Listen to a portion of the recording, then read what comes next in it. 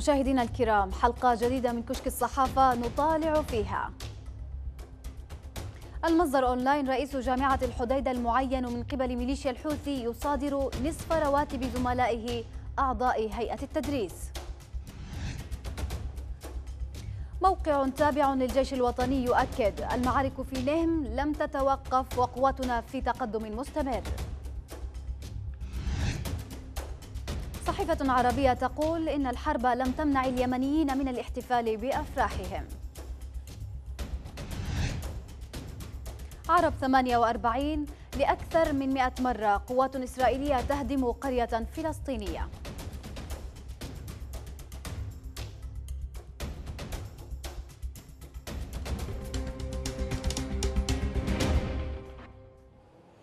أهلا بكم.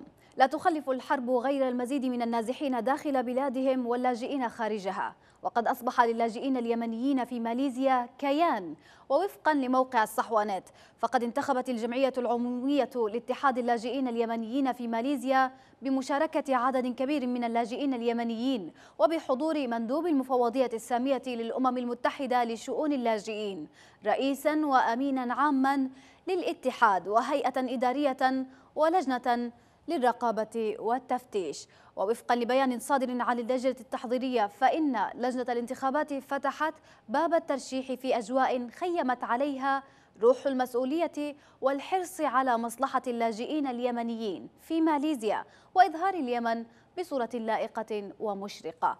مضيفا أجريت عملية الاقتراع في مناخ ديمقراطي جسد الحرص الكبير على إنجاح الانتخابات.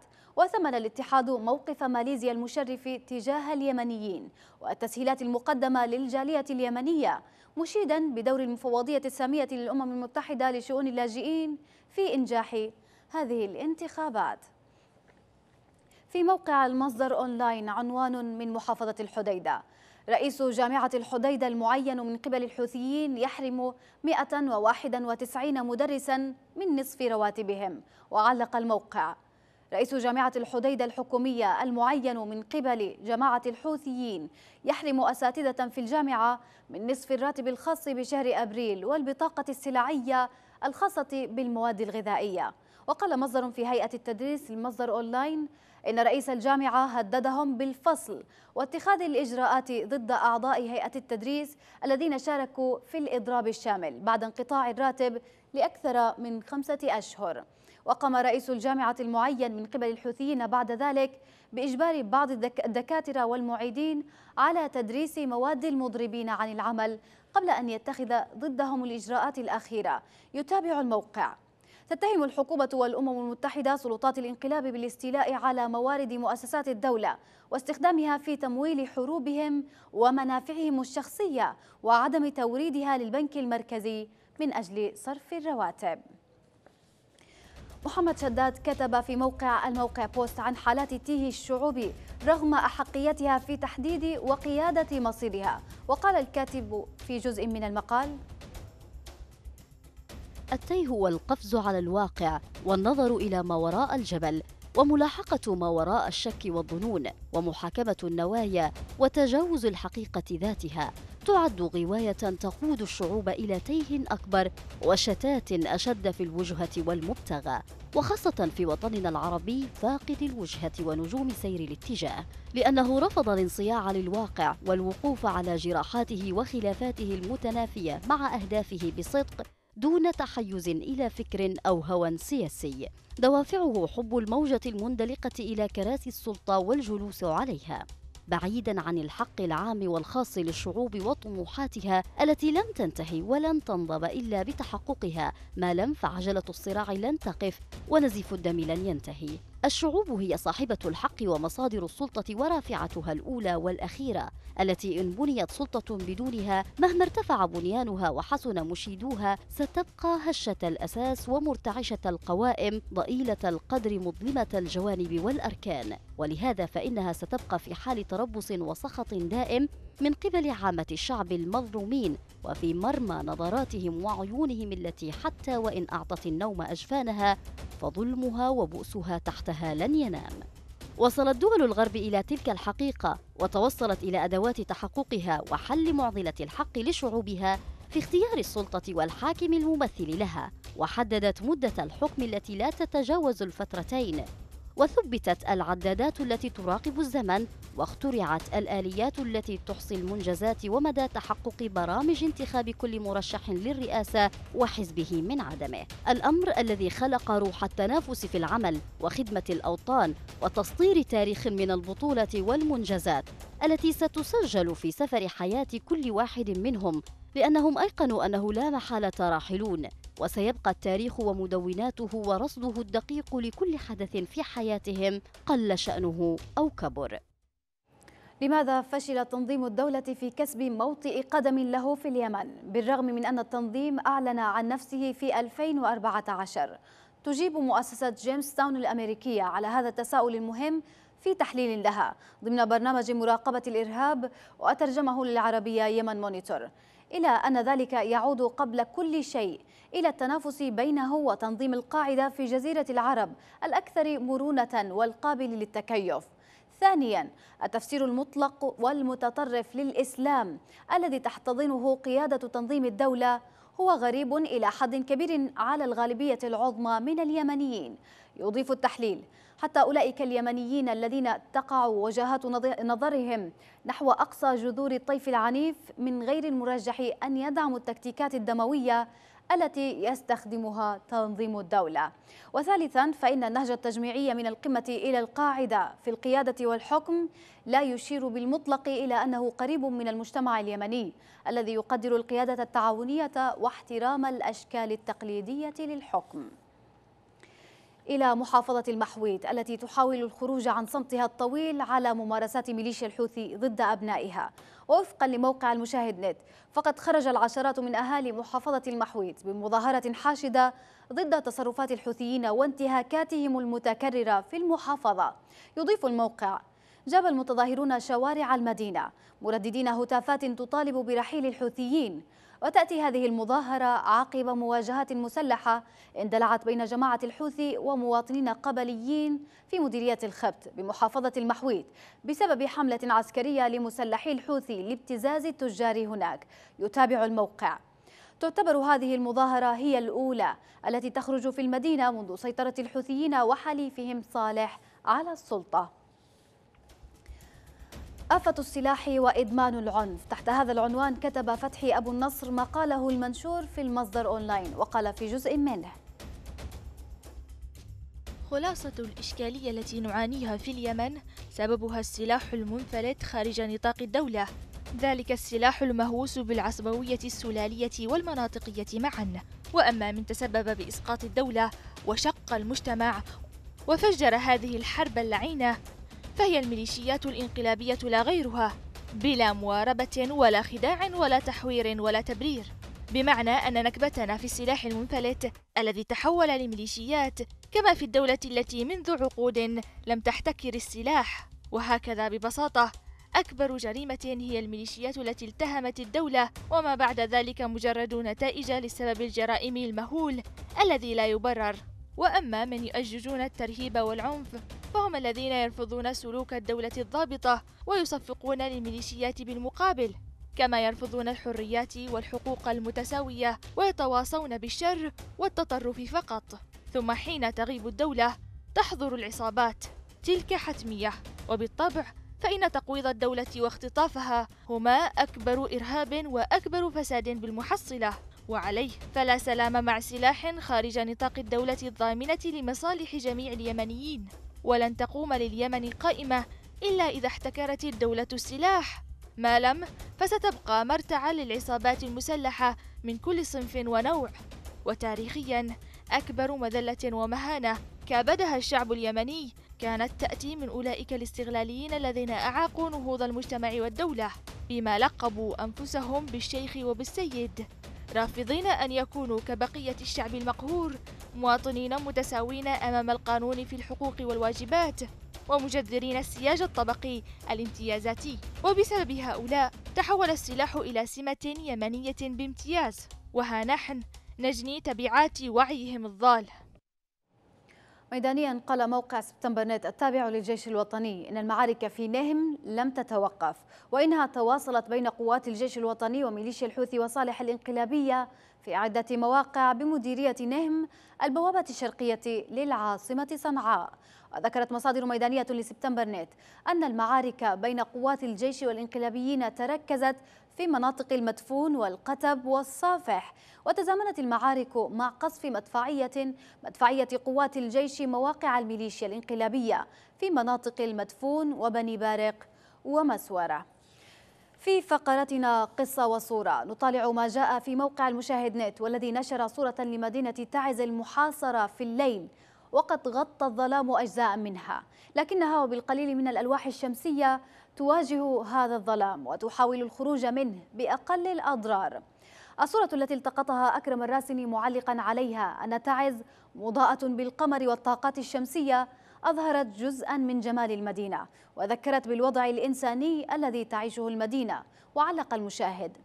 ما زالت قذائف جماعة الحوثي ترسل الموت لأطفال المدينة وسكانها الآمنين رغم الحرب تظل تعز عابقة بالحياة والضوء والدهشة. وقبل قراءة أهم ما ورد في صفحات الصحف العربية. نذهب إلى فاصل قصير. ابقوا معنا.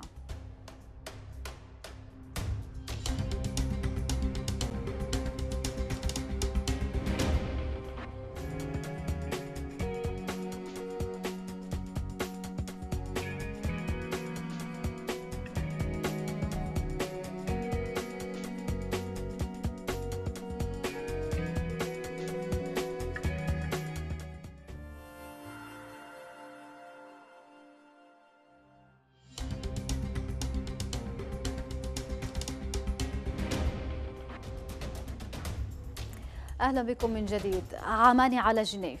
عمان على طريق تفاوض مسدود بالتزامن مع تصعيد ميداني على العرض على الأرض. ولأجل هذه المناسبة كتبت صحيفة العرب الجديد بعد عامين على أول جولة مشاورات يمنية برعاية الأمم المتحدة تتواصل الحرب المستمرة في البلاد وتراوح بين التصعيد حينا والجمود المفاجئ حينا آخر في ظل ما يشبه طريقا مسدودا وصلت إليه جهود الأمم المتحدة.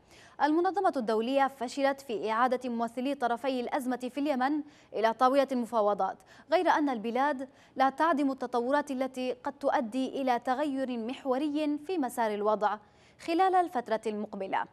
العديد من جبهات المواجهات المباشرة بين الميليشيا وقوات الشرعية شهدت تصعيدا في الأيام الأخيرة تركز في محافظة تعز المشتعلة بالحرب منذ أكثر من عامين في ظل حالة من الكر والفر.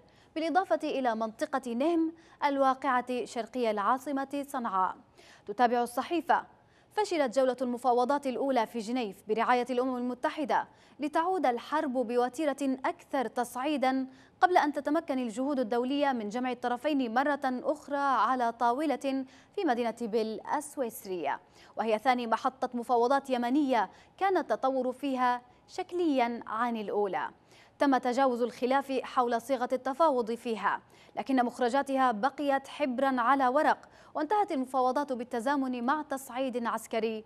ساد مختلف الجبهات. مسلحون قبليون يقطعون طريقا استراتيجيا يربط صنعاء بوسط وجنوب البلاد.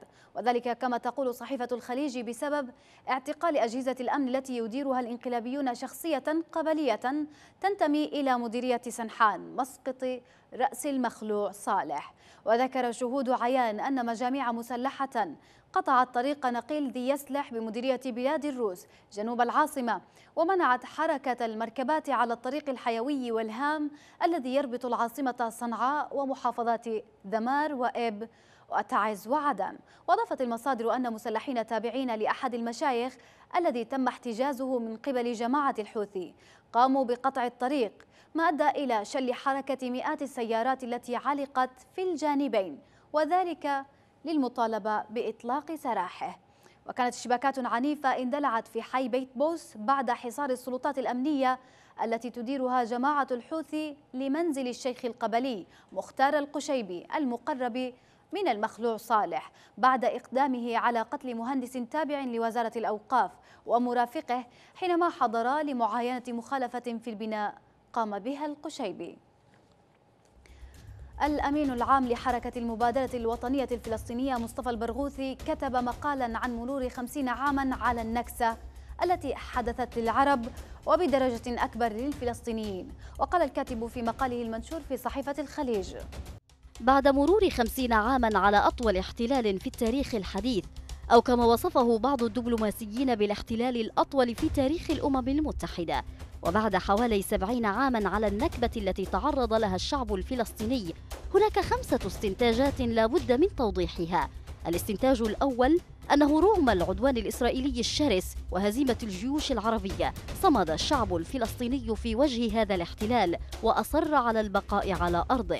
مستلهما الحكمة من تجربة التهجير القاسية عام 1948 وبصموده فإنه صنع أهم إنجاز حققه حتى الآن بخلق وجود ديموغرافي مقاوم ألحق الفشل بالمشروع الصهيوني الذي كان هدفه ترحيل السكان الفلسطينيين لإحلال اليهود الإسرائيليين مكانهم كما جرى في معظم أراضي 1948 من قبل. ولا شك أنها مفارقة تاريخية أن يولد هذا الإنجاز الإنساني من رحم الهزيمة العسكرية ولولاه لنجحت إسرائيل في تصفية القضية الفلسطينية. الاستنتاج الثاني أن كل حكومات إسرائيل من يسارها إلى يمينها لم ولا تريد السلام بل أرادت احتلال كل فلسطين ونشر الاستيطان الاستعماري الذي تشاركت في إنشائه وتوسيعه كل حكومات إسرائيل بغض النظر عن طبيعة الحزب الحاكم أو رئيسه. ولا فرق هنا بين جولدا مائير أو رابين أو بيريز أو بيجن أو نيتنياهو أو شارون. كلهم عملوا لنفس الهدف وجميعهم عارضوا وحاربوا حق الفلسطينيين في الحرية وعملوا على منع قيام دولة فلسطينية مستقلة وحقيقية. الاستنتاج الثالث أنه لا سبيل لدى الشعب الفلسطيني سوى تغيير ميزان القوى لصالحه وأن مفاوضات تجرى بدون تغيير ميزان القوى هي دعوة للاستسلام ولن تكون نتيجتها سوى أن تستخدم غطاء للتوسع الاستيطاني. وتجارب المفاوضات خلال 26 عاما خير دليل على ذلك. الاستنتاج الرابع أن ما نواجهه كشعب فلسطيني غير مسبوق في التاريخ الحديث. فنحن نواجه نظام قمع معقد وأربع عمليات متداخلة في نفس الوقت. الاستنتاج الخامس أن شعب فلسطين طوال هذه السنوات من الاحتلال لم يرضخ ولم يستسلم وقاوم هذا الظلم الاحتلالي والاستيطاني وما زال يقاومه وسيبقى يقاومه ويصر على حقوقه بما في ذلك حق العودة للاجئين إلى ديارهم التي هجروا منها. الأعراس اليمنية متكدرة لكنها أكبر من مخاوف الحرب هذا ما تقوله صحيفة القدس العربي وتعنون. الاحتفالات لم تتوقف حتى أثناء القصف والبعض استعاض عن القاعات والبيوت بالخيام. وتقول الصحيفة على الرغم مما فرضته الحرب من معاناة كبيرة على اليمنيين إلا أن أصوات وأضواء خصوصية أعراسهم التقليدية لم تخفت وإن تراجعت بعض مظاهرها. وعلاها تكدر جراء ما يعيشه هذا البلد الفقير من حرب. حديثا في صنعاء. لم تمنع ظروف الحرب عائلته محدودة الدخل من إقامة العرس وإن ضاقت عليهم دائرة البهجة. يقول وفيق سلام إمكاناتنا بسيطة وعلى الرغم من ذلك كان العرس جميلا وكان أجمل مما توقعته وقد تجاوز تفاعل الناس ما كان عليه قبل الحرب. تضيف القدس ربما يعود ازدياد التفاعل الاجتماعي في اليمن مع الأعراس خلال الحرب إلى كون الناس في هذا البلد الذي صار ممتلئا بالفاقة. باتوا يجدون في الأعراس متنفسا لالتقاط أنفاسهم واستعادة توازنهم نسبيا مع الحياة. للمرة الرابعة عشرة بعد المئة على التوالي تهدم إسرائيل قرية العراقيب في فلسطين بحسب موقع عرب 48 الفلسطيني والذي أضاف اقتحمت قوات كبيرة من الشرطة الإسرائيلية قرية العراقيب مسلوبة الاعتراف وهدمت منازلها المكونة من ألواح الصفيح وذلك للمرة الرابعة عشرة بعد المئة على التوالي. وقال أهالي العراقيب إن الآليات والجرافات هدمت الخيام وألواح الصفيح التي تؤوي العائلات وشردتهم بحماية من الشرطة. ولم تراعي شهر رمضان وظروف الطقس الحار الذي تشهده المنطقة. السلطات الإسرائيلية تواصل منذ سنوات محاولات تهجير ما تبقى من سكان أراضي العراقيب وتطالب أهالي القرية بدفع مبلغ 2 مليون شيكل مقابل مصاريف هدم العراقيب. ولا تعترف السلطات الإسرائيلية بنحو 45 قرية عربية في النقب وتقوم باستهدافها بشكل مستمر بينما تشرع ببناء تجمعات استيطانية لصالح اليهود في النقب. واحد من أكثر الأخبار المنوعة تداولا ما ورد في صحيفة عكاظ والتي عنونت صدفة تكشف تبديل مستشفى لطفلتين بعد 26 عاما. وقالت الصحيفة إن سيدة في النمسا اكتشفت أن الفتاة التي ربتها طيلة 26 عاما معتقدة أنها طفلتها. لم تكن كذلك. بعد أن لاحظت الفتاة بالصدفة اختلاف فحص, فحص جديد لفصيلة دمها عن تلك التي كتبت في سجل ولادتها واكتشفت الشابة دوريس جرونفاليد خلال فحص للدم وفحص DNA أنها ليست ابنة الأم التي ربتها. وحمل القضاء النمساوي مستشفى فيغراتس جنوب البلاد المسؤولية عن عملية الخلط بين طفلتين عند الولادة قبل 26 عاما. وحكم عليه بدفع ضرر إلى عائلة المدعية مع أن التفتيش عن الطفلة الأخرى لم يعطي نتيجة. وألزمه بدفع تعويضات قدرها 30 ألف يورو إلى الوالدين والشابة المعنية الذين باشروا العملية أمام المحاكم المدنية في العام 2015 ووجه المستشفى نداء إلى النساء اللواتي أنجبن أطفالا في 1990 ليخضعن لفحوص DNA إلا أن الفحوصات التي أجريت حتى الآن لم تسمح بمعرفة هوية والدة الطفلة. أثناء زيارة المصور الصحفي الأمريكي لوك سومرز إلى اليمن قام بالتقاط مجموعة من الصور لتقوم عائلته بنشر ثمان صور منها للتذكير بالدور الذي قام به أثناء إقامته داخل اليمن والتي صادفت قيام ثورة 2011 فيما تقول عائلته بأنها ما تزال تشعر بالأسى لرحيله وذلك بعد اختطافه من قبل القاعدة وقتله أثناء عملية إنقاذه. حيث يرتبط اليمن في ذاكرتها كمكان للعنف والدمار والقتل. نتابع هذه الصور المنشورة في موقع الموقع بوست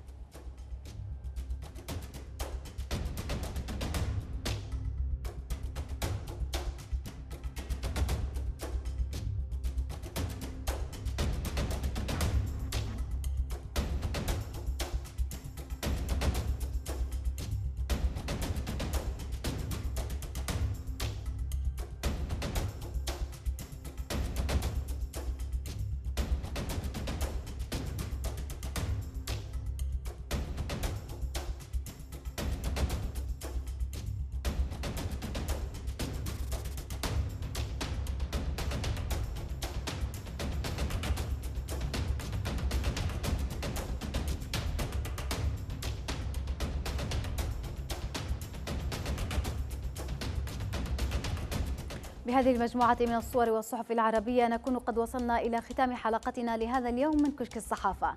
نترككم مع مجموعة من رسوم الكاريكاتير. إلى اللقاء.